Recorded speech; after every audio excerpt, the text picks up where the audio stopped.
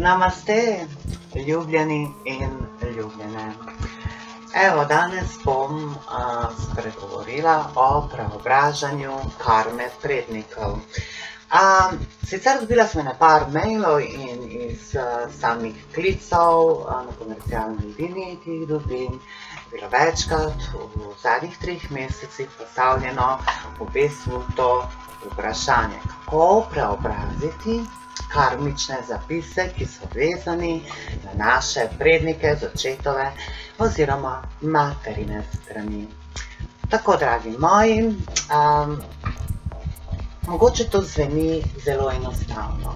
Naprimer, vsekakor svetujem pri tem uporabo vijoličnega plamena zakona odpuščanja zase, za vse svoje sorodnike in prednike. Vendar to je ta praktični del. Um, pomembno je, preden se mi spustimo uh, v delovanje preobražanja predniške karme, uh, je zelo pomembno, da mi preobrazimo vse naše miselne, vedenske, čustvene vzorce, vse sporne dele uh, naših interakcij z našimi biološkimi starši tega življenja. Torej, oče je nekako utelešenje ali simbol utelešenja torej vseh karmičnih zapisov, ki so nekako vezani na njegove prednike.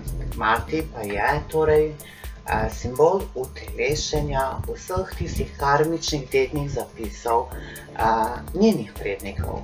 Vsekakor, vse te zapise, mi imamo na genski ravni.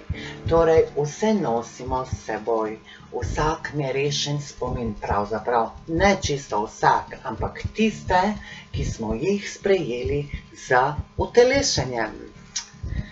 Um, nekateri naredijo napako um, in ne uredijo tega prvega dela, torej ne razrešijo, ne preobrazijo odnosu s svojimi biološkimi starši.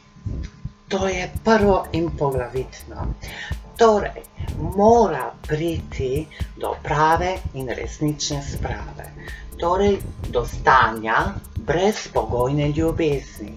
Torej, ko ljubezen do bioloških staršev, očeta in matere, preide v fazo brezpogojnosti.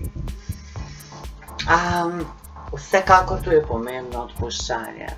Predtem je pa dobro, da resnično imamo dobro komunikacijo z njimi, da bi lahko razumeli, kako so oni živeli, ko so bili otroci, kakšen odnos je bil med njimi in njihovimi starši, torej našimi starimi starši.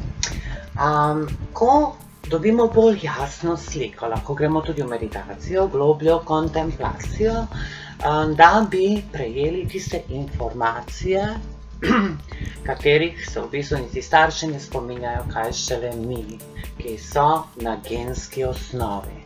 Torej, z globe meditacijo mi dobimo upoglede za tiste informacije, ki jih rabimo razrešiti med torej, nami in našimi biološkimi starši tega utelešenja. Ko preidemo v to fazo, ko smo to razrešili, delovali z vijoličnim plamenom, z zakonom odpuščanja, a, ko v celoti smo dojeli in razumeli, a, zakaj smo se utelesili, zakaj smo izbrali ravno te starše, mi preidemo enostavno v stanje brezpogojne ljubezni do svojih staršev. Pride do celotnega in popolnega sprejemanja njih.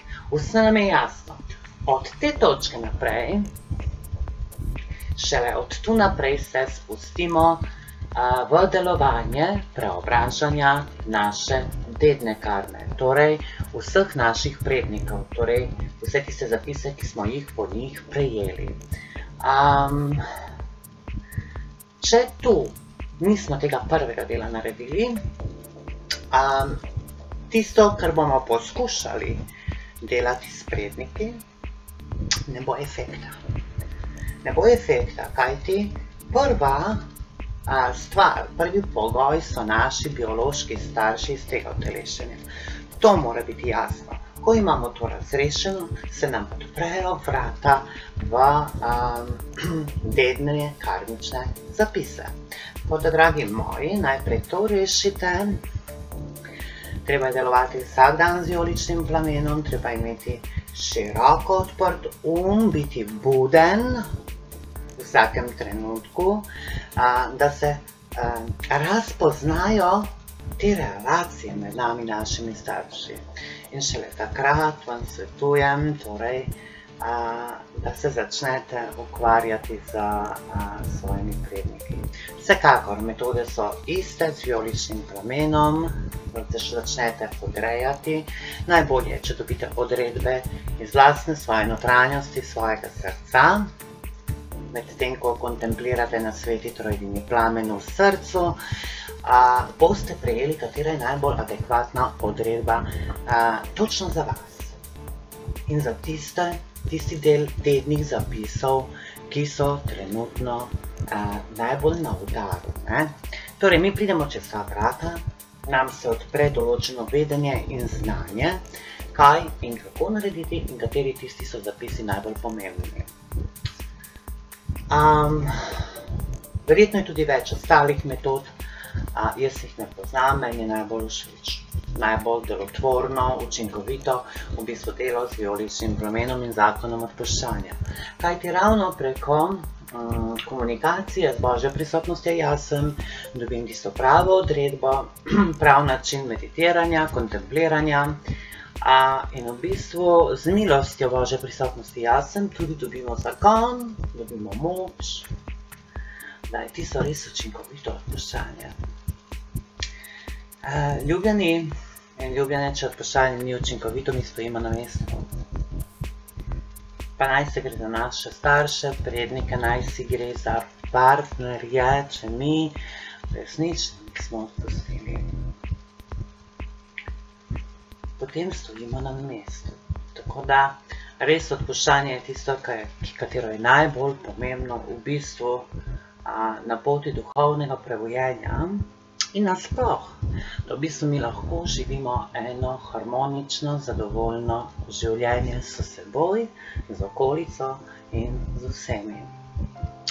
Tako, dragi moji, mm, to je bilo vse od mene, jaz vam želim, da v moči vijoličnega plamena razrešite svoje odnose s svojimi biološkimi starši, da pridete v brezpogojno ljubezen in razumevanje, sprejemanje njih, da bi lahko razrešili tudi karmo oziroma tedne zapise.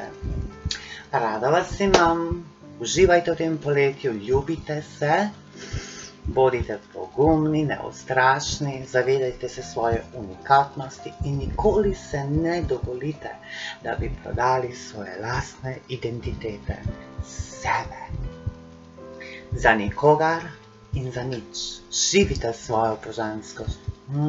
Namaste.